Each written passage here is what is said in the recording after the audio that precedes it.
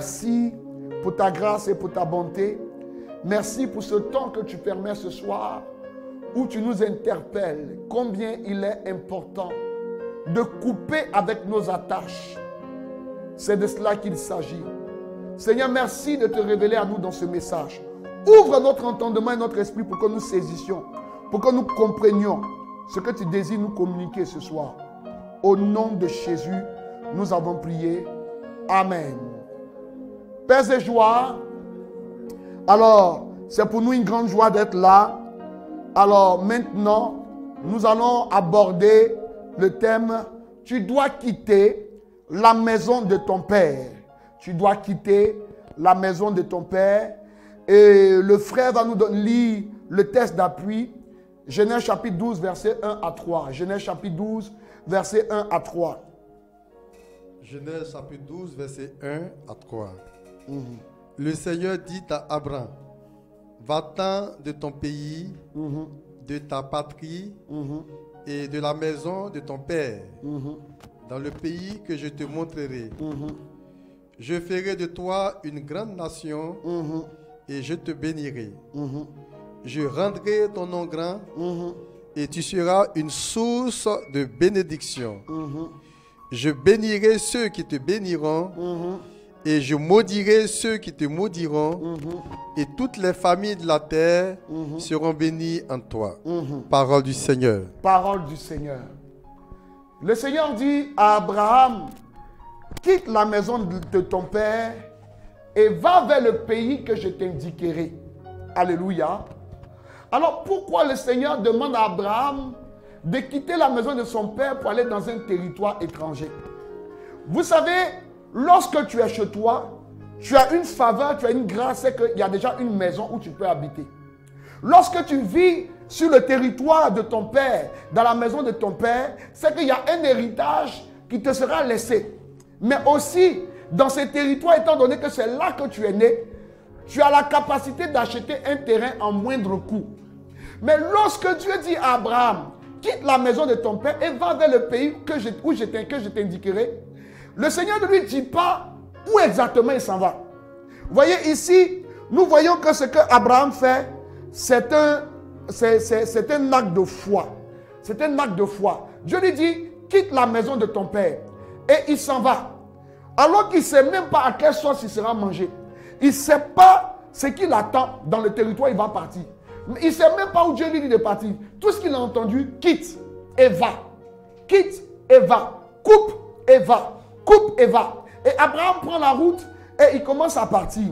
C'est chemin faisant qu'il va savoir que le territoire où Dieu l'envoie, c'est le territoire de Canaan. Paix et joie. Alors il faut savoir une chose. La maison du Père traduit deux choses.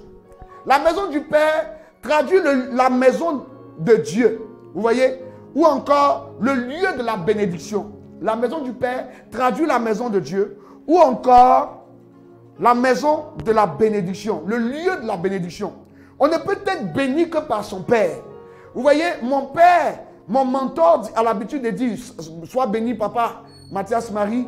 Il a l'habitude de dire que personne d'autre ne peut te bénir que ton Père. Donc dans la maison du Père, il y a la bénédiction. Voilà pourquoi les deux fils de, euh, de choses euh, d'Isaac, Jacob et Esau, sont restés là jusqu'à attendre la mort de leur père. La maison du Père est le lieu de la bénédiction, c'est-à-dire on te bénit et tu t'en vas. Mais dans le cas d'Abraham, son père n'a pas béni. Mais Dieu lui dit quitte, alors qu'il n'a pas encore reçu la bénédiction en tant qu'aîné. Deuxième chose, c'est que la maison du Père, hein, la maison du Père physique, hein, c'est le lieu, ça peut être aussi le lieu de notre échec. Vous voyez? La maison du Père physique, ça peut traduire le lieu de notre échec. Le lieu où on peut souffrir. Alléluia. Frères et sœurs, la maison du père d'Abraham était caractérisée par l'échec. La maison du père d'Abraham était caractérisée par la servitude. Alléluia. Cette maison était polluée par des esprits. Parce que il y a une réalité. Pourquoi Dieu demande à Abraham de quitter la maison de son père? Oui, la maison du père peut nous donner de connaître notre identité spirituelle. Mais, vous voyez, pour un rien comme ça, Dieu dit à Abraham, quitte la maison de ton père. Il y a quelque chose, Dieu ne fait jamais rien sans, sans rien. La maison du père d'Abraham n'était pas seulement le lieu du repos, mais la maison du père d'Abraham traduisait certaines réalités. Alléluia. On va lire Genèse chapitre 11, verset 27 à 32. Genèse 11, verset 37 à 32. Genèse 11, verset 27 à 32. Genèse 11, verset 27 à 32. Voici la postérité de Térak. Térak engendra Abraham, Nachor et Haran. Haran engendra Lot. Et Haran mourut en présence de Térak, son père, au pays de sa naissance, et à Our en Chaldée. Abraham et Nachor prirent des femmes. Le nom de la femme d'Abraham était Sarai. Et le nom de la femme de Nachor était Milka, fille d'Aran, père de Milka et père de Gisca. Sarai était stérile, elle n'avait point d'enfant. Térak prit Abraham son fils et Lot, fils d'Aran, fils de son fils, et Sarai, sa belle-fille, femme d'Abraham, son fils. Ils sortirent ensemble d'où en Chaldée pour aller au pays de Canaan. Ils vinrent jusqu'à Charan et ils y habitèrent. Les jours de Térak furent de 250 ans et Térak mourut à Charan. Alléluia. Frères et sœurs, regardez bien ce test. Abraham, en réalité, si, nous voulons bien comprendre, nous allons nous rendre compte que lorsque Dieu dit à Abraham, quitte la maison de ton père, au moment où Abraham quitte, au lieu de partir seul avec son épouse, comme Dieu lui a dit, il prend son père. En réalité, ce texte que nous venons de lire devait venir après Genèse chapitre 12. Vous voyez? Le texte devait venir après Genèse chapitre 12. Dieu dit à Abraham, quitte la maison de ton père. Abraham sort de la maison de son père. Il prend le chemin. Mais chose que Abraham fait, c'est qu'Abraham prend son père qu'on appelle Térak. Il prend son neveu Lot et il prend sa femme et il part avec eux. Frères et sœurs, dans la maison du père d'Abraham, c'était le lieu de la servitude. Alléluia. Ça veut dire quoi? Tant que son père était vivant, Abraham était abonné à faire des corvées. La maison du père d'Abraham, c'était le lieu de la servitude. Ça veut dire quoi? Abraham était esclave de son père. Puisque son père avait vieilli, il était appelé à travailler pour le compte de son père. Et tant que son père vivait, il était appelé à faire des corvées. Deuxième chose, la maison du père d'Abraham était le lieu de la stérilité. Vous voyez, quand vous allez bien lire l'histoire, quand vous allez bien regarder, vous allez vous rendre compte que Térak a enfanté à 70 ans. C'est-à-dire le père d'Abraham, il a commencé à avoir des enfants lui-même à 70 ans. Et lorsque vous regardez bien, on se rend compte que des, deux, des, trois enfants d'Abraham, il y a un jusque-là qui avait un enfant, qui était Aaron, et Aaron lui-même est mort. Alléluia.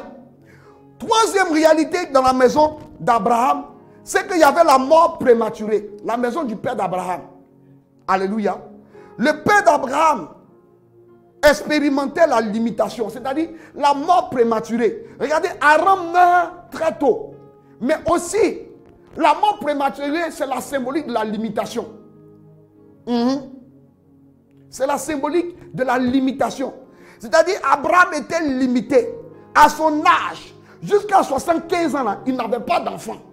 Jusqu'à 75 ans, Abraham n'avait pas de liberté. Jusqu'à 75 ans, Abraham n'avait aucun bien. Il était pauvre. Alléluia. La quatrième, réalité, c'est que la maison du Père était le lieu de la peine, était le lieu de la souffrance. Frères et sœurs, la maison du Père peut traduire plusieurs réalités. Dans le cas d'Abraham, il y avait quatre réalités dans la maison de son Père. Et voilà pourquoi Dieu lui dit quitte. Mes frères et sœurs, vous allez vous rendre compte que quand on va commencer à expliquer, vous allez comprendre certaines réalités par rapport à, à- à pourquoi le Seigneur lui demande de quitter. C'est vrai qu'il y avait toutes ces souffrances. C'est vrai qu'il y avait toutes ces réalités. Mais voyons les caractéristiques de la maison du Père. Alléluia. La première caractéristique de la maison du Père, la première caractéristique de la maison du Père, c'est Térac ou l'influence du nom. Térac ou l'influence du nom, c'est la première caractéristique de la maison du Père. Le père d'Abraham s'appelait Térac. Et Térac veut dire fils du retard. Alléluia. Térac veut dire fils du retard. Et regardez à quel âge Térac fait un enfant. Térac était influencé par son nom. En réalité, le nom que Térac portait était une dette. Alléluia. C'est pourquoi j'ai dit à la mission passée que au cri de Jésus que nous allons continuer, ça sera comme une, continuité de- du séminaire que nous faisons à Don Bosco. Térac, c'est la symbolique hein, de l'influence du nom. C'est-à-dire le nom Térac était une dette dans la vie d'Abraham. Vous voyez? Térac qui veut dire retard, le fils du retard, le fils du retard. Et par conséquent, ce nom traduisait la limitation et le non-accomplissement dans la vie de ses enfants. Vous allez voir que Térac lui-même, à cause de la dette du nom, à cause de la dette du nom, Térac lui-même va commencer à avoir des enfants à 70 ans. Regardez chez nous, à notre temps actuel, là. 70 ans, tes spermatozoïdes sont finis. Tu tires à blanc, pour la plupart, à 70 ans. Alléluia. À 70 ans, c'est pollué. Amen, amen. Mais regardez, c'est à 70 ans dès que Térac va avoir ses enfants. Et au milieu de ses enfants, vous allez vous rendre compte que le nom Térac était un héritage, une dette qui se transportait dans la vie des enfants d'Abraham. Le Haran en question va avoir son premier enfant à 40 ans.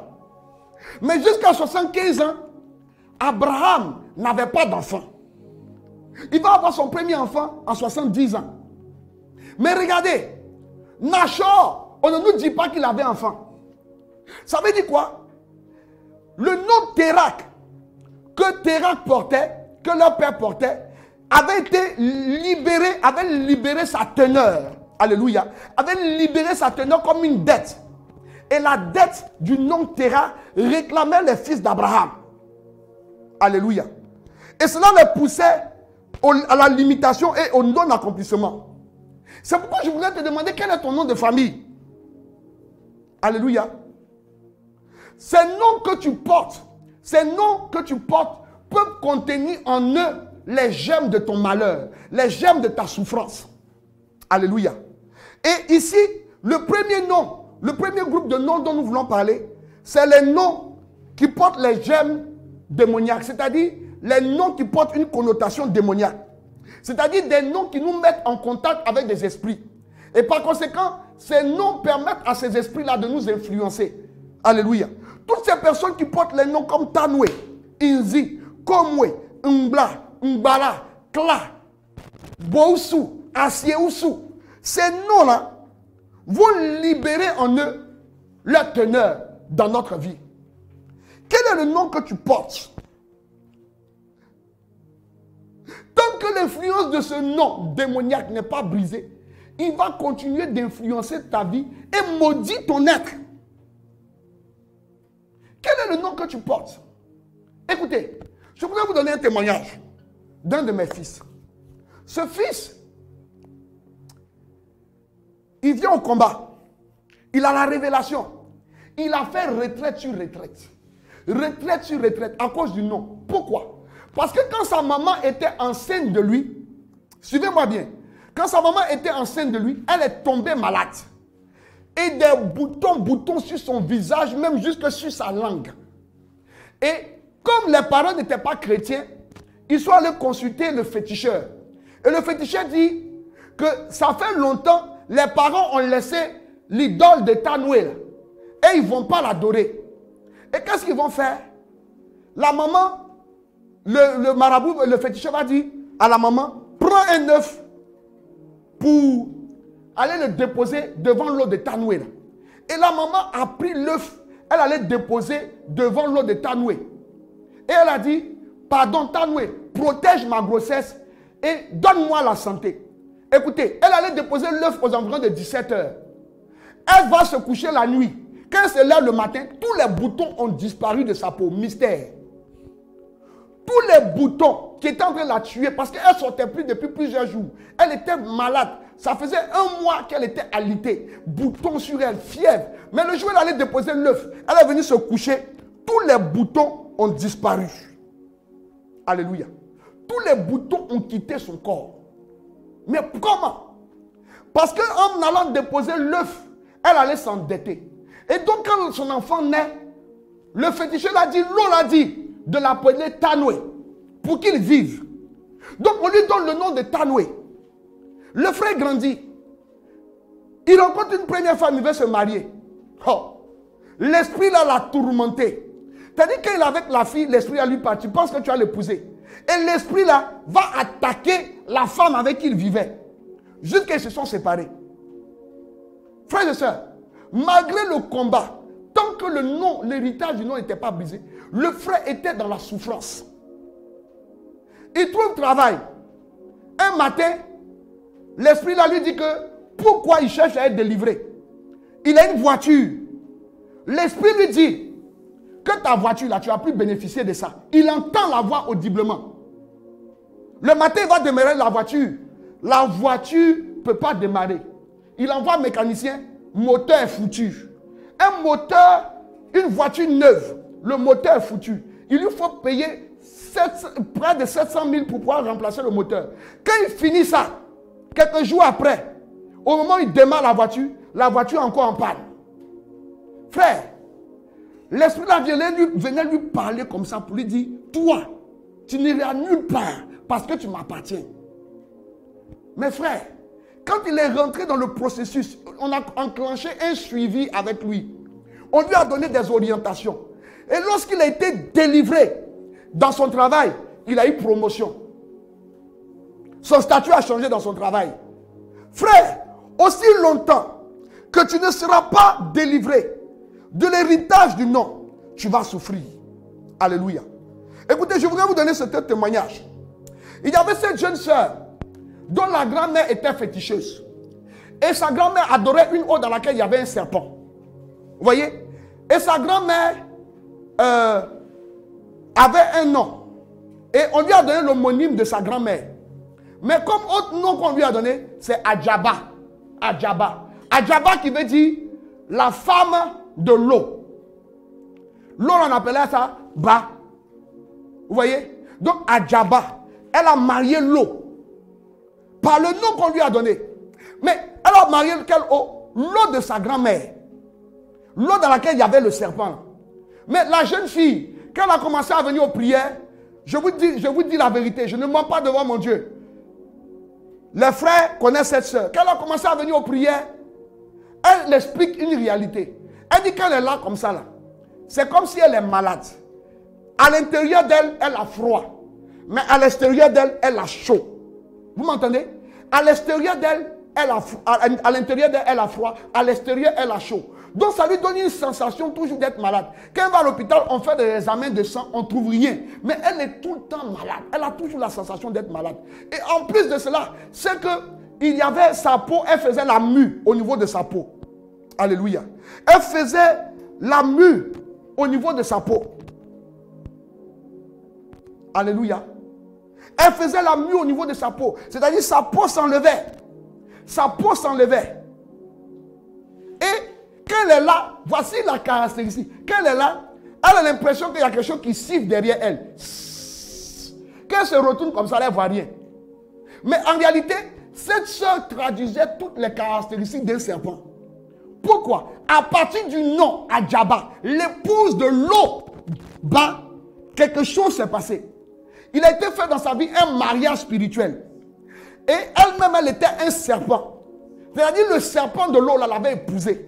Voilà pourquoi elle avait la sensation d'avoir froid à l'intérieur et chaud à l'extérieur. En réalité, elle présentait les caractéristiques de la température d'un serpent. En plus de cela, c'est que quand elle dort la nuit, elle bavait. Mais aussi, elle entendait les sifflements de serpents de manière permanente. Et à cause de cela, elle ne pouvait pas aller à l'école. Elle était arrivée en classe de BTS, plus aller à l'école à cause de son état de santé. Elle était constamment à l'hôpital. Elle était constamment malade. Frères et sœurs, lorsque la révélation est parvenue jusqu'à elle, que le nom était ce qui la mettait en contact. Parce que le nom la rattachait à l'hôtel de bar. Le nom la rattachait à l'hôtel de bar. Et par conséquent, le nom l'influençait. Le nom avait bloqué sa vie. Le nom avait plombé son être. Quand elle a eu la révélation, nous avons prié. Nous avons prié et la soeur a été délivrée. Sa santé a été restaurée. Elle a pu reprendre les études. Frère, c'est pourquoi je déclare que tout nom démoniaque que tu portes et par lequel tu es influencé maintenant soit cassé et brisé sur ta vie au nom de Jésus. Que tout nom qui plombe ton histoire, que tout nom qui te réduit au néant, que tout nom qui, te, qui, détruit l'histoire de ta destinée, que tout nom qui est établi comme une dette démoniaque dans ta vie, soit brisé au nom de Jésus. Soit brisé au nom de Jésus. Soit brisé au nom de Jésus. Et que ce nom te relâche au nom puissant de Jésus-Christ Nazareth. Frères et sœurs, à côté des noms démoniaques, il peut y avoir dans ta vie des noms, euh, des noms maléfiques. C'est-à-dire des noms qui ont une connotation de malheur. Vous voyez, par exemple, quelqu'un qu'on appelle Kanga. Et dans la Bible, on a un cas comme ça. 2 Chroniques chapitre 4, à partir du verset 9 à 10. La Bible nous parle d'un homme, 2 Chroniques chapitre euh, 9 plutôt, à partir du verset 4. On nous parle d'un homme qu'on appelait Jabès. Jabès qui veut dire, sa maman l'a conçu dans la souffrance et elle lui a donné le nom de Yabès, qui veut dire le fils de ma souffrance. Si on était en Côte d'Ivoire, on l'aurait appelé Yalé. Vous voyez? Et souvent, nos parents nous donnent des noms selon, euh, selon l'événement qui est rattaché à notre naissance. Selon l'événement, vous vous souvenez de, euh, d'un ancien président de la Côte d'Ivoire qui a dit qu'à cause le jour où il est né, il ne pleuvait plus au village. Le jour où il est né, il a plu. Donc on, l'a appelé Inzoueba. Vous voyez? Mais souvent, vous pouvez porter des noms, mais qui ont une connotation maléfique. Voyez Par exemple, ce monsieur-là qu'on appelait Yoboué. Yoboué. Mais Yoboué, c'est une pierre. C'est un caillou. Oh, la caractéristique du caillou, c'est que le caillou est fier. Première chose. La deuxième caractéristique, la deuxième caractéristique, la deuxième caractéristique, c'est que euh, le caillou est, est dur. Donc quand tu portes ce nom de nom, ce nom va, va jouer contre ta vie. Ce nom va travailler contre ton identité. Alléluia. Ce nom va travailler contre ta vie. Il y a des gens qui portent le nom de Oufoué, Fier, Kanga. Ces noms-là ont la capacité d'influencer votre nom et traduit dans votre vie le malheur qui s'indique. Quel est le nom que tu portes? Quel est le petit nom que tes parents t'ont donné Mon mentor donnait un témoignage, il dit, soit allé évangéliser en France. Un père était tellement heureux qu'il a donné au nom à sa fille solitude. Vous voyez? C'est nom il a donné à sa fille ça.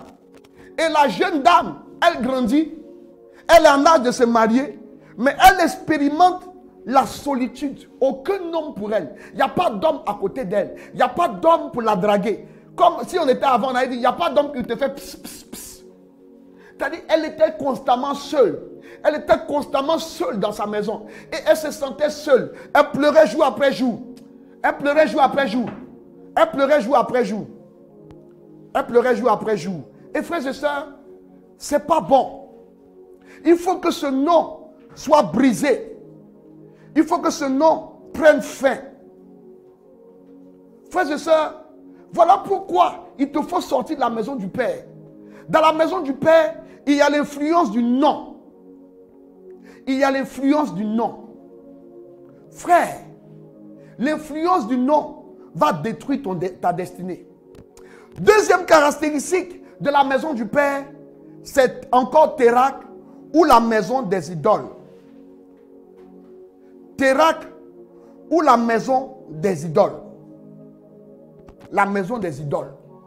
Vous voyez, dans la maison de Térac en Chaldée, euh, euh, en Chaldée, en Mésopotamie, il y avait une réalité.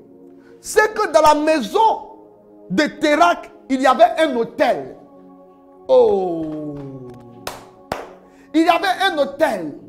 Et cet hôtel était l'hôtel du dieu Sin. C'est le dieu du soleil. C'est le dieu du soleil. Et le dieu du soleil travaillait contre leur vie. Le dieu Sin. Ça veut dire le dieu du soleil. Térac en réalité adorait cet esprit-là. Amen. Et ce Dieu du soleil était un hôtel qui était dans la maison d'Abraham. Au chaque fois qu'il y a un hôtel dans une maison, l'hôtel va exercer son influence sur la vie de tous ceux qui habitent la maison. Voilà l'une des raisons pour lesquelles Dieu dit quitte la maison de ton père.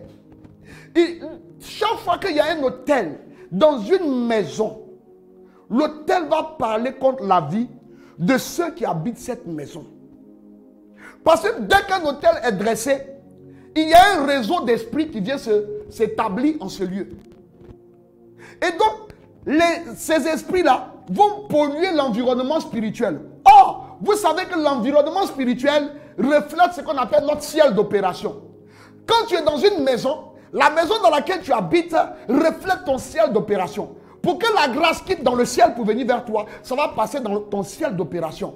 Or, les esprits vont polluer l'environnement spirituel. Ce qui va faire que ta bénédiction peut venir, mais ta bénédiction sera suspendue dans les cieux.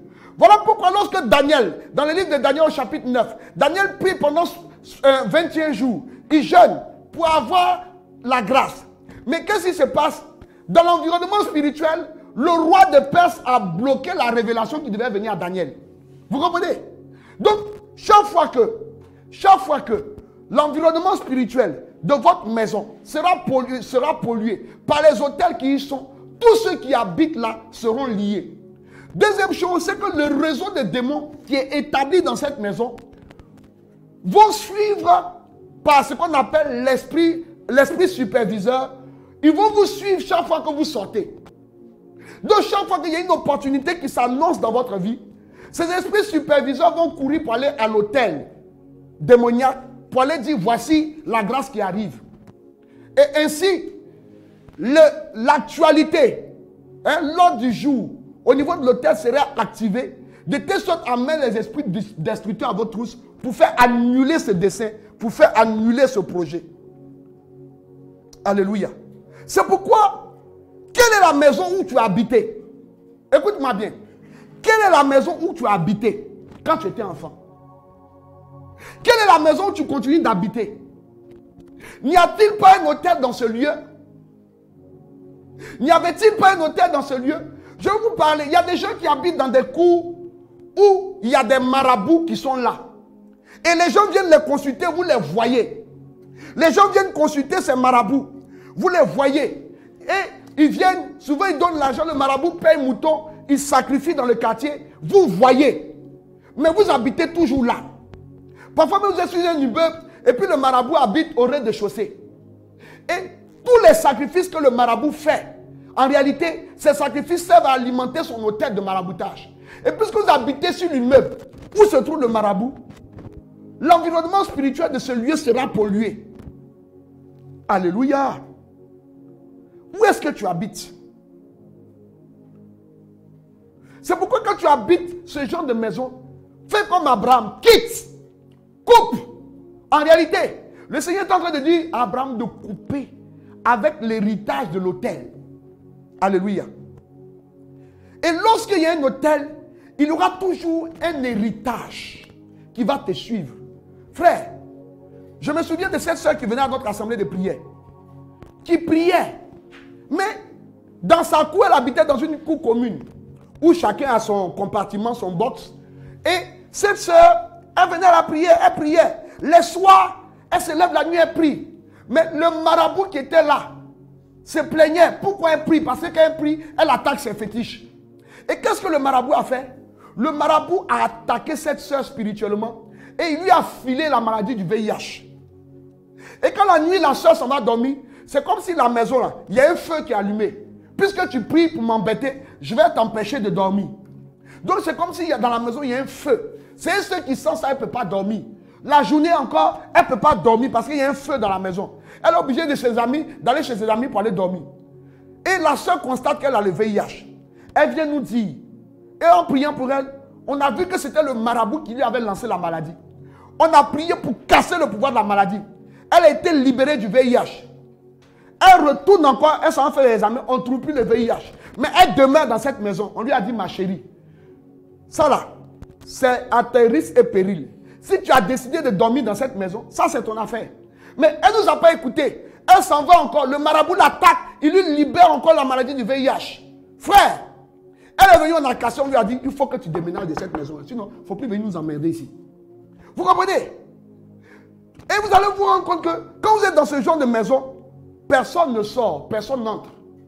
Vous tous, vous êtes liés. Vous tous, vous êtes liés. Parce que l'hôtel va vous réclamer. Oh, frère, écoutez, je vais vous donner un témoignage. Hmm. Non, avant le témoignage, je vais vous dire quelque chose. Vous allez vous rendre compte que chaque fois que vous, êtes, vous habitez dans ce genre de maison, l'héritage spirituel sera transféré sur la vie de tous ceux qui habitent cette maison. L'héritage spirituel sera transféré sur la vie de tous ceux qui habitent cette maison. On aura l'impression que c'est une maison de mort. On aura l'impression que c'est une maison où euh, tout le monde est esclave. Mais en réalité, tout le monde deviendra esclave de l'esprit de cette maison, de l'hôtel qui est là. Et je voudrais vous donner un témoignage d'une sœur que je suis. Ah, rekebebebebe. La sœur vient me voir il y a quelque temps. Et nous échangeons avec la sœur. Nous avons échangé et on a trouvé certaines choses dans sa vie. Je lui dit, prends tel enseignement pour approfondir. Il s'est trouvé qu'elle avait un mari de nuit, tout ça. Prends tel enseignement pour approfondir et puis revient. La soeur s'en va. Elle ne revient plus pour nous voir. Elle va pendant un an et demi. Après un an et demi, dans le mois de juin dernier, elle réapparaît. Elle commence à parler. Je dis, mais toi, je te connais, non? Elle me dit, non. Je dis, je t'ai jamais reçu ici. Elle dit, non. Je dis, c'est pas toi qui m'as expliqué telle affaire. Elle me dit, non. Donc, je la laisse parler. Elle parlait, parlait, parlait, parlait. Puis, à un moment, elle dit un- un- un- une chose. Je dis, mais je t'ai pas dit que je t'ai déjà reçu ici. C'est pas toi. Tant, tant, tant, tant, tant, tant, tant, tant. Mais en réalité, la soeur, ce que je lui ai rappelé, c'est qu'il y a de cela 7 ans en arrière, à, 20 à- à- à 27 ans, elle avait déjà 30 millions sur son compte. 27 ans. Elle avait déjà 30 millions. Elle a, savez qu'elle a eu le BTS, elle ne faisait rien. Donc à partir de 23 ans, elle s'est pris en charge. Elle a commencé à faire un commerce qui lui donnait de voyager et revenir avec la marchandise. À 27 ans, elle avait déjà 30 millions sur son compte. Écoutez-moi bien. À 27 ans, elle avait déjà 30 millions sur son compte. Dans ce commerce-là. Et voilà que quelques jours après, quelques temps, les temps passent. Et elle rencontre un ami d'enfance. Un jeune avec qui elle a grandi dans le quartier. Sur le net. Et le jeune dit va venir l'épouser. Le jour où le jeune dit va venir l'épouser, elle explique à ses amis. Donc ils sont en train de préparer la dot. Le jeune doit venir faire la dot, il fait le mariage civil et puis il s'en va. Elle explique à une de ses amies et ses amis lui dit, tu sais que les benguis là, ils aiment faire mougoupan. Donc, chérie, copine, allons-y voir tel marabout. Là, comme ça, quand il vient là, il est collé. Ok, elle suit sa copine. Oh, en cette année-là, elle était à deux mois de son baptême. Et elle suit sa copine pour aller voir un marabout qui lui dit, bon, il faut payer tant, tant, tant. Elle dit non, je vais te donner l'argent, tu vas payer. Continuez de partager, continuez de partager. Il faut que beaucoup de personnes entendent ça. Hmm. Vous voyez? Donc, le démon lui dit, euh, le monsieur lui dit, il faut payer ça. Elle dit, bon, il faut me dire ça fait combien tout ça, je vais te donner l'argent. Et le monsieur lui dit, ça fait 150 000. Elle lui donne 150 000 francs. Et le monsieur dit, le jour de la cérémonie, tu viens avec des habits blancs, un, dessous blanc que tu vas porter, mais un autre dessous blanc qui sera dans ton sac parce que tu vas t'échanger. Et les deux se retrouvent sur la route de Port-Boué, à gauche là. Vous voyez quand on va à Port-Boué, où il y a la lagune là, où on, on vendait les voitures avant. Derrière les voitures, les deux se trouvent là-bas. À 2 heures du matin, le monsieur fait bouillir une substance et lui donne ça pour se laver. Elle doit se laver en dessous. Caleçon blanc. Et avec sa poitrine élevée qui fait Allah Akbar, elle se déshabille devant le monsieur à 2 heures du matin. Les deux derrière la voiture. Et elle se déshabille là. Et le monsieur, elle se lave devant lui. Elle finit. Le monsieur dit enlève le caleçon avec lequel tu t'es lavé, porte l'autre caleçon blanc et mets le caleçon dans le canari et jette ça dans l'eau. Elle prend, c'est ce qu'elle fait. Elle met le caleçon dans le canari, elle jette ça dans l'eau, elle porte l'autre caleçon blanc, elle s'habille. Et le monsieur lui dit les habits, ce que, que tu as fait là, tu ne dois pas te laver pendant trois jours. Et pendant trois jours, la soeur ne s'est pas lavée. Mais quand elle a fini de faire ses rêves, la soeur, elle a commencé à faire des rêves où elle voyait un monsieur qui avait deux sexes qui venait coucher avec elle. Et le monsieur est venu, j'ai déjà raconté cette histoire ici. Le monsieur n'a pas pu l'épouser et il est reparti. Ils n'ont même pas pu faire la dot. Il est reparti. Mais frère, la partie que je vais vous expliquer, toute récente qu'elle va m'expliquer, c'est que elle était, quand elle est venue me voir en juin, je lui ai dit, on vient de commencer le séminaire sur les hôtels, viens suivre. Malheureusement, elle n'est pas venue encore. Et tout récemment, je l'ai reçue. Qu'est-ce qu'on va constater? Elle fait les rêves où elle est toujours dans sa maison d'enfance à Makori. Elle est toujours dans sa maison d'enfance à Makori. Elle fait toujours les rêves où elle est dans sa maison d'enfance à Makori. Et qu'est-ce qu'elle va constater ces temps-ci? Elle va m'expliquer une histoire. Oh, je dis partagez, partagez, faites monter le mercure. Voici la partie la plus intéressante qui concerne le thème que nous prêchons. Elle va me raconter cette histoire-ci. Il s'agit de quoi? Quand elle était dans la maison familiale à Marcory, il s'est trouvé qu'elle avait un homme qui était dans la maison qui avait un hôtel. Un hôtel qu'il adorait. Il avait un esprit qu'il adorait. Et voilà que l'interdit, le totem de, ce, de cet hôtel-là, c'est que le, sang ne devait pas verser dans la maison. Or, à cette période, elle était enceinte et elle ne voulait pas que ses parents sachent. Elle a fait l'avortement de manière traditionnelle et le sang a coulé dans la maison. Vous voyez? Donc, par l'acte qu'elle a posé, elle a violé l'interdit du totem dans la maison. Donc, l'hôtel, vous savez, souvenez-vous qu'on a dit dans l'enseignement sur les hôtels, chaque fois que tu verses un sang innocent, c'est un hôtel qui est constitué. Mais en, plus, c'est que le sang qui a été versé va alimenter l'hôtel de son oncle. Et par conséquent, elle s'est liée avec ces démons. Et la sœur, elle n'est plus dans la maison, ça fait plusieurs années. Mais elle rêve toujours, elle est là-bas. Et un jour, elle va là-bas pour aller saluer les gens. Ça fait de cela trois ans. Et quelqu'un lui a dit, sans savoir là qu'elle avait posé dans la maison, quelqu'un lui a dit qu'on a rêvé, tu vas tourner jusqu'à tu vas revenir vivre dans cette maison-là. Mais la personne ne sait même pas l'acte qu'elle a posé dans la maison. Mais pourquoi? L'hôtel de la maison, où ils ont, ils ont dressé le sacrifice, à partir de l'interdit qu'elle a violé par le sang, l'hôtel a commencé à parler et à la réclamer. Tout ce qu'elle fait échoue. Parce qu'elle doit retourner dans cette maison. Frère, s'il y a un hôtel où tu as grandi, s'il y avait un hôtel et que l'hôtel a été alimenté, l'hôtel va tout faire pour te ramener dans la maison. Alléluia. C'est pourquoi quitte là-bas. Quitte la maison de ton père. Alléluia. Il y avait ce monsieur-là qui était machiniste à la Sotra. Mais ce monsieur-là est allé au village et il allait prendre le fétiche de son père. Machiniste à la Sotra. Il allait prendre le fétiche de son père. Et il est venu déposer, quand son papa est décédé, il est venu déposer l'autel, le fétiche dans la maison. Et il adorait, il offrait le sacrifice pour ces esprits-là. Et pour, pour, pour cet esprit-là. Et ses enfants l'ont vu. Et il y a de cela 4-5 ans, je reçois un de ses enfants qui avait déjà 37 ans. Et lui, celui qui a 37 ans là, c'est l'avant-dernier.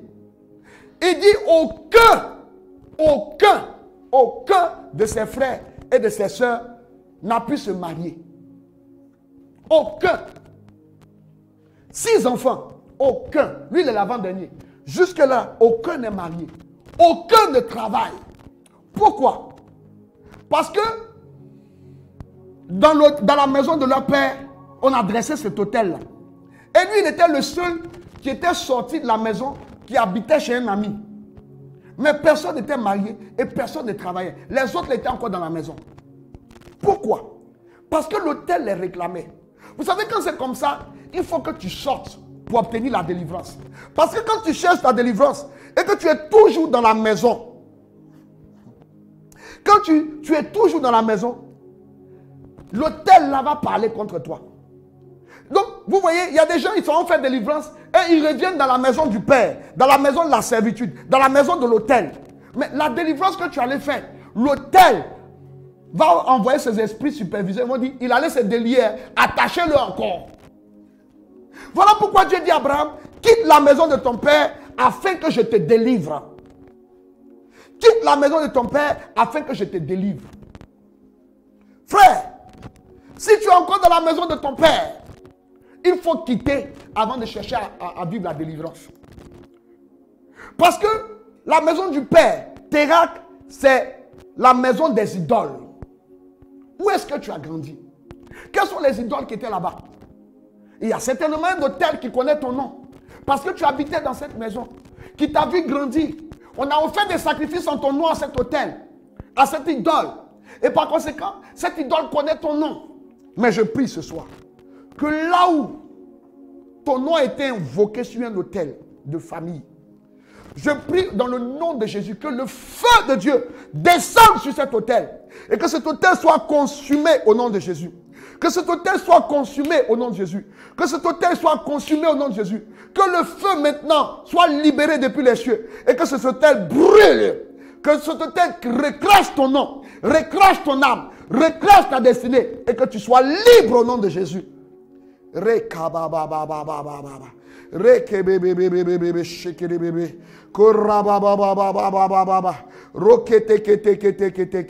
Rokobobobobobobobo. Frère.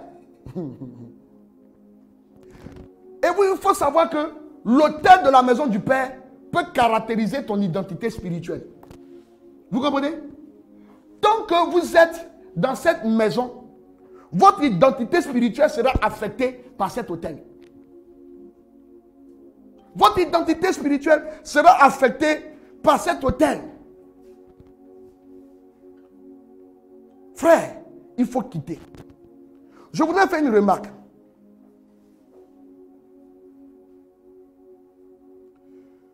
Je le disais tout à l'heure, tous ceux qui habitent une maison où il y a un hôtel, c'est très important.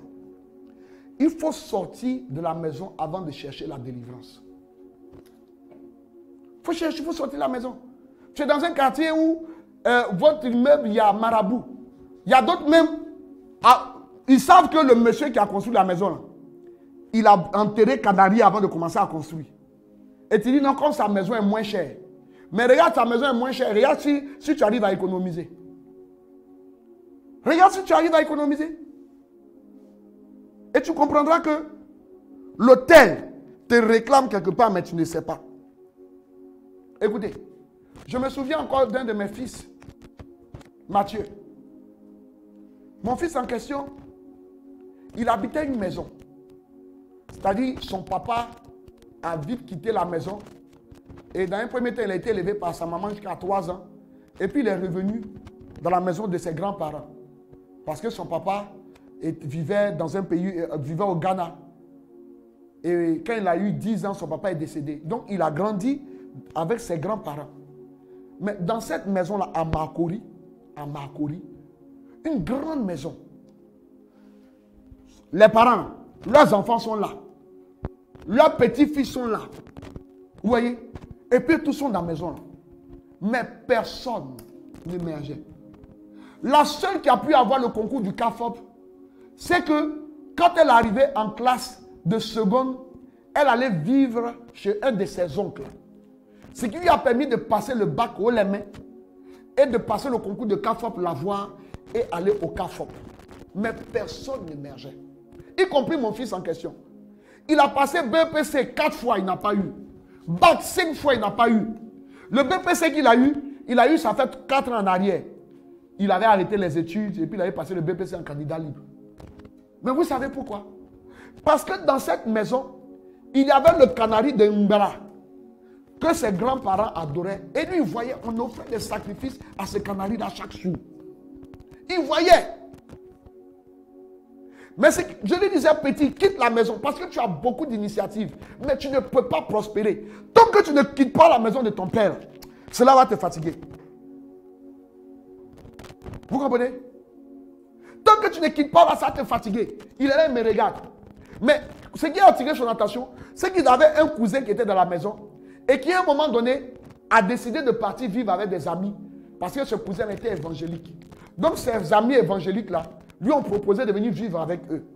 Et quand ce cousin, qui avait eu le BTS, a quitté la maison, écoutez-moi bien, quand ce cousin a quitté la maison, deux mois après, il a eu un travail, il a commencé à travailler. Après deux ans, ce, cousin est devenu chef de service. Et ce cousin avait une voiture de service. C'est ça qui a attiré son attention. Ça a tellement brûlé son cœur. Il dit, papa, ce que tu m'expliquais depuis longtemps, j'ai compris. C'est maintenant que je vois. Regarde mon cousin tant. Quand il est parti de la maison, il a commencé à prospérer. Et mon fils là, est sorti de la maison. Quand il est sorti de la maison, il a commencé à avoir des semblants de bénédiction. C'est vrai que l'hôtel le réclamait à le ramener à la maison. Mais ce petit-là, il lutte aujourd'hui pour pouvoir s'en sortir. Frère, aussi longtemps que l'hôtel va subsister, ta vie sera contrainte à la servitude. Ta vie sera contrainte à la pauvreté. Alléluia. Et frères et sœurs, lorsque tu sors de la maison de ton père, il faut briser l'hôtel qui te réclame. Il faut démolir l'hôtel. Alléluia. Il faut démolir l'hôtel. Il faut démolir l'hôtel qui te réclame et sortir de l'influence de cet hôtel. C'est alors que ta vie sera libre. Ce soir, je prie que le Seigneur se souvienne de toi. Que là où tu as habité, on a invoqué ton nom sur un hôtel. Que le Seigneur se souvienne de toi. Que le Seigneur t'ait en souvenir et qu'il libère ton âme de la maison des idoles au nom de Jésus. Que le Seigneur fasse une œuvre merveilleuse en brisant les chaînes qui parlent contre toi, en cassant les chaînes qui te réclament jusqu'à ce jour et qui te contraignent à la restriction et à la limitation. Je prie ce soir que le Seigneur t'ait en souvenir et que la- la- la- le feu de Dieu descende depuis les cieux pour casser tout autel qui te réclame. Au nom puissant de Jésus, nous avons prié. Amen. Mes mains Élevé vers ton trône. mes yeux sont fixés sur Mes yeux sont fixés sur toi. Viens, Seigneur. toi tu peux. Mes yeux sont fixés sur toi, Seigneur. Mes forces mes forces défaillent. Mes forces me laissent, m'abandonnent. Mes forces me quittent. Mais Seigneur, sur toi mes yeux sont fixés. Sur toi mes yeux sont fixés. Et Seigneur, je crois en toi. Seigneur, je t'en supplie, libère-moi, Seigneur. Je compte sur ta grâce. Je compte sur ta grâce. Je compte sur ta grâce. Je compte sur ta grâce. Élève la voix et commence à parler à ton Dieu. Dis à Dieu, Seigneur, je compte sur ta grâce. Je sais que tu peux tout, Seigneur. Je compte sur ta grâce. Je compte sur ta grâce. Oh, reke bebe bebe bebe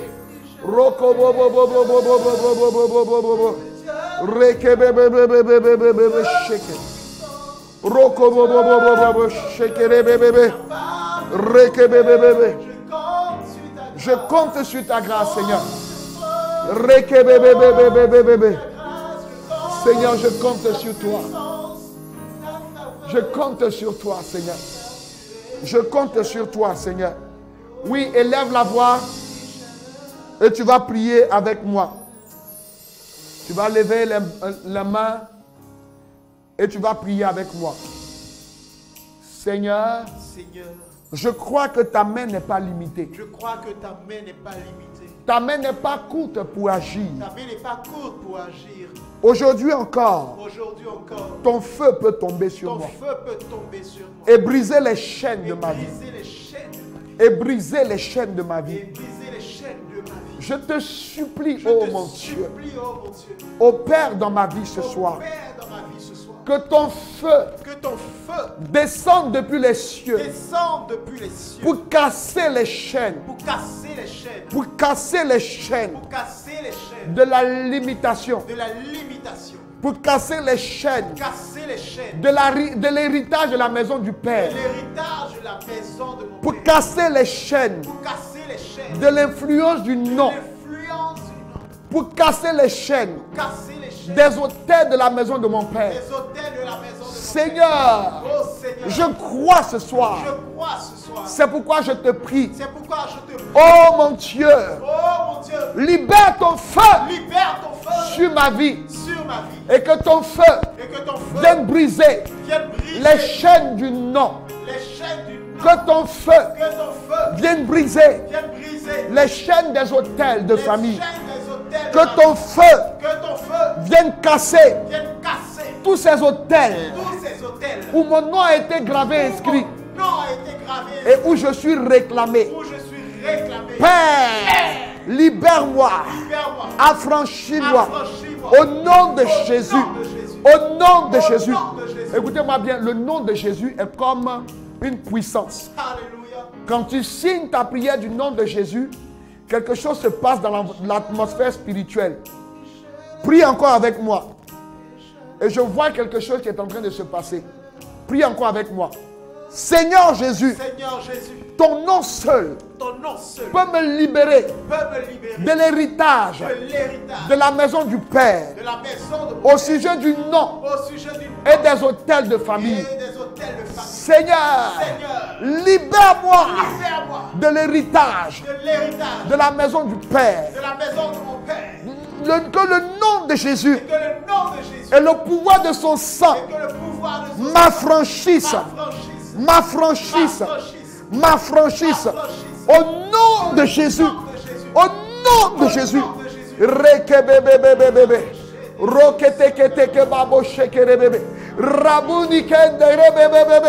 Maintenant, lève la main, lève la main, lève la main. Pendant que je prie ici, le Seigneur va te visiter. Rekebebebebebebebebe. Rekebebebebebebebe. Shakarababos kendere bahaila. Dekarababo shekerebebebebe. Diriababo shekerebebebe. Diriababo skendarababo shekerebebebebebe. Père, merci pour ta grâce. Père, je te recommande tes enfants. Je prie dans le nom de Jésus que tout héritage du nom qu'il portait, les noms maléfiques, les noms démoniaques, je prie maintenant que l'influence, que le nom soit vidé de sa teneur démoniaque au nom de Jésus. Que ce nom que tu portes, qu'il soit Tanoué, Bossou, Asieussou, Kla, Dje, euh, Dibi, je prie que ce nom soit vidé de son influence au nom de Jésus. Et par l'autorité du nom de Jésus, je casse l'influence de ce nom sur ta vie. Je casse l'influence de ce nom sur ta vie. Je brise le pouvoir de ce nom. Et je commande que le nom, ce nom que tu portes, soit vidé de sa teneur satanique et démoniaque. Et que tu sois libéré au nom de Jésus. Que le pouvoir de ce nom soit cassé sur ta vie. Soit cassé sur ta vie au nom puissant de Jésus-Christ Nazareth. Et que tu sois libre au nom de Jésus. Que tout nom maléfique que tu portais et qui contraignant ta vie à la malédiction. Je prie dans le nom de Jésus que le pouvoir de ce nom soit brisé au nom de Jésus. Soit brisé au nom de Jésus. Soit brisé au nom de Jésus. Soit brisé au nom de Jésus. Soit brisé au nom de Jésus.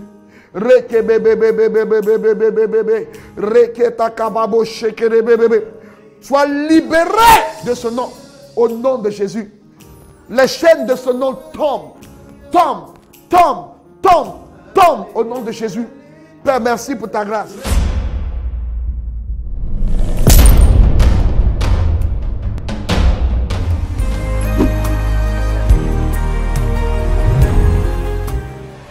La divinité dans les de Pierre, qu'il est descendu dans le séjour des morts et il est allé annoncer le royaume.